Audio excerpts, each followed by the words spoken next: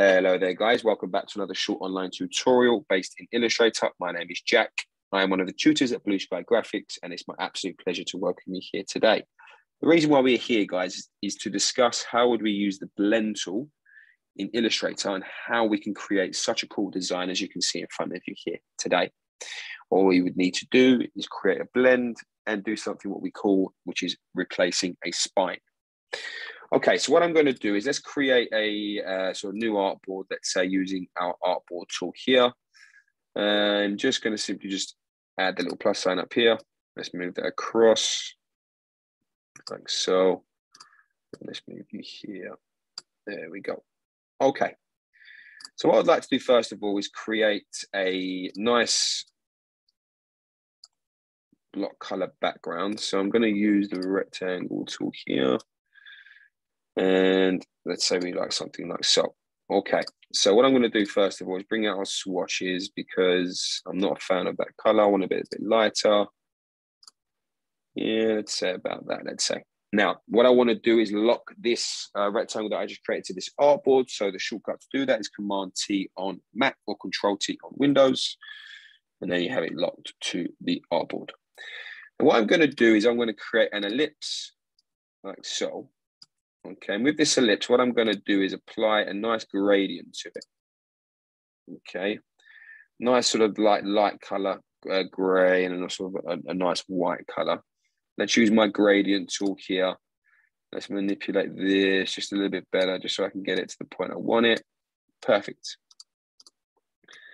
Now what I'm going to do using the shortcut Alt on Windows or Option on Mac and pressing Shift at the same time is I'm going to duplicate it across there, like so. And as you can see, I have two ellipses. Now, what I want to do is I want now would like to blend these two together. So I'm going to select the both of them like so. And I'm going to come to my blend tool, which is situated here. And I'm going to click and click.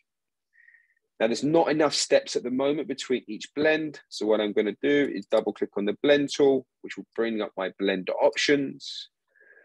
I'm simply going to change the spacing to specified steps. And let's say we put in like of 600 steps in there. Okay. And we're going to press OK. Now, as you can see, a lot smoother of a blend. Now, what I'm going to do is use my paintbrush tool. Okay. I'm going to make sure my fidelity is smooth. So I'm going to double click on the paintbrush tool and I have my fidelity options here. I want Illustrator to help me. So I'm going to make sure my fidelity is at a smooth option. Now what I'm going to do now is create a nice sort of brush stroke using the paintbrush tool.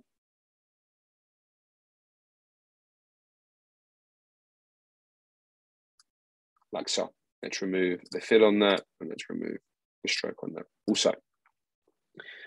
So as you can see, I have my stroke and I have my blend. Now what we can do is really call this a spine. Because what we're going to do is we're going to select both elements like so. And then if I go to object, blend, I have replace spine. Okay, so now if I replace the spine, there you can see that blend has replaced that particular spine.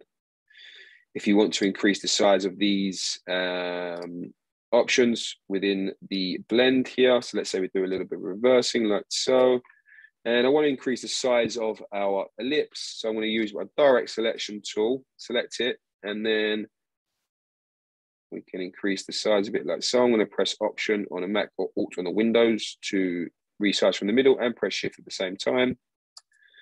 Perfect. And then if I was now to go View, Trim View, as you can see, I have created something very visually cool, simply using the blend tool and replace spine. Guys, if you're interested in finding any more about our school or anything like that, our tutors, our, our courses, please, please, please visit our website at blueskygraphics.co.uk. Also, check out our Instagram at Blue Sky Graphics UK to see some of our uh, work by our amazing students. Take care, guys, and I'll see you next time.